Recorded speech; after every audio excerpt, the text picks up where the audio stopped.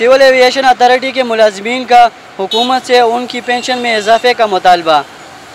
तो ये जानते हैं उनकी राय तो चलिए। प्रॉब्लम यह है कि जैसे पेंशन गवर्नमेंट ऑफ़ पाकिस्तान बढ़ाती थी 1982 से जब से अथॉरिटी थी तो ये 2019 में से तफरीक पैदा कर गई हमारे जो लोग 2014 तक रिटायर्ड हैं 30 जून तक, उनकी पेंशन एज़ पर गवर्नमेंट बढ़ाई गई है। लेकिन हमारी जो पेंशन है 2021 से लेकर आनवर्ड जो 42 परसेंट बनती है, अभी तक नहीं बढ़ाई गई। हम लोग काफ़ी मुश्किल में हैं। हम मीडिया से ये अपील करते हैं और यकीनन मीडिया हमारी ये चूँकि नेक ख्वाहिश है, अच्छी ख्वाहिश है हाँ जो हमारे हुक्मरान हैं, जिसमें हमारे खास के डी जी खाकान मुतज़ा साहब, जिसका मैं स्पेशल ज़िक्र करूँगा, खाकान मुतज़ा जिस, जिसने सारा प्रॉब्लम उसी की वजह से है। तो उनसे हम रिक्वेस्ट करते हैं कि आपकी, आप हमारी आवाज़ वहाँ तक पहुँचाएँ, ताकि लोगों का वो मसला हल हो, ताकि लोग जिस मुश्किल में हैं, उनकी मुश्किल आसान हो। बहुत मेहरबान। हमारी मुख्तलिफ़ अवकात में मुख्तलिफ़ जगहों पर मुलाकात होती रही है, यकीन भी दिलाया गया, लेकिन हल नहीं हुआ। ये दो हज़ार तीन सौ चौहत्तर मुलाजमीन नहीं, बल्कि दो हज़ार तीन सौ चौहत्तर ख़ानदानों का मसला है, जो पिछले तीन साल से माशी तौर पर बहुत बदहाली का शिकार हैं।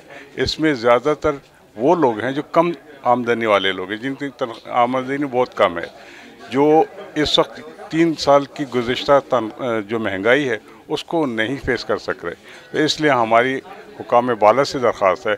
स्पेशली डीजी साहब जो प्रेजेंटेशन देते हैं बोर्ड में, उनको गलत फिगर्स प्रोवाइड किए जाते हैं।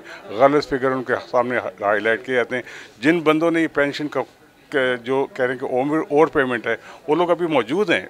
रिटायर्ड हैं, लेकिन मुझे, उन सबको बुलाएँ, बिठाएँ, हिसाब करें, जो उनके बनते हैं, उनके दें जो इनके बनते हैं रिकवर करें। लेकिन हमारा हिसाब कहीं से करेंगे, क्योंकि वन साइडेड कैलकुलेशन दे के अपना प्रेजेंटेशन दे देते हैं और अपनी बात मनवा लेते हैं, जो हमारा इस्तेसाल है।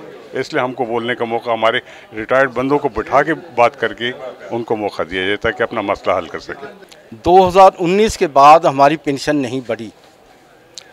2020 में 10 परसेंट, बाद में भी 10 परसेंट बढ़ी, फिर भी 5 परसेंट जो है फेडरल गवर्नमेंट ने बढ़ाई है। अभी साढ़े सत्रह परसेंट है, बढ़ी है जो बढ़ाई है, लेकिन हमें अभी तक 2019 के बाद पेंशन जो है वो हमारी नहीं बढ़ाई गई।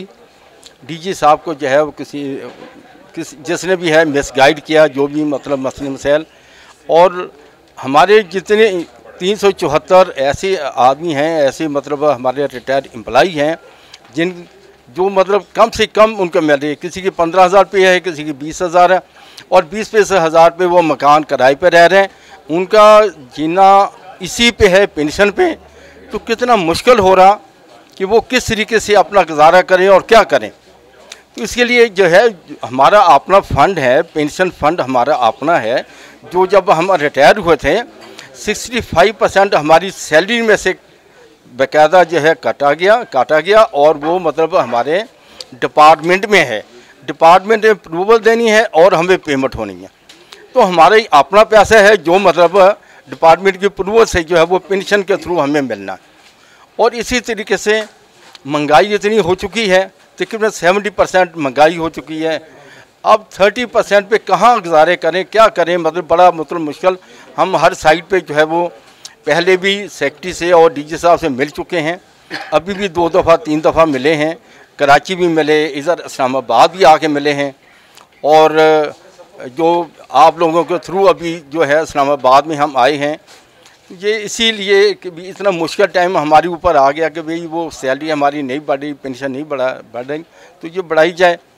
तो अब हम केयर टेकर जो प्राइम मिनिस्टर हैं और जो हमारे मिनिस्टर आए हैं, उनसे भी हमारी रिक्वेस्ट है कि इस पर गौर करें और जो हमारा पेंशन फंड है, उसको हमें अप्रूवल दें और जो है वो हमारी पेंशन बढ़ाई जाए। सिविल एविएशन अथॉरिटी के रिटायर्ड मुलाजमीन का कहना था कि महँगाई के इस आलम में वो बहुत से मुश्किल का शिकार हैं। उनका मज़ीद कहना था कि रिटायर्ड मुलाजमीन के बेवाओं और यतीम बच्चों का ख्याल किया जाए।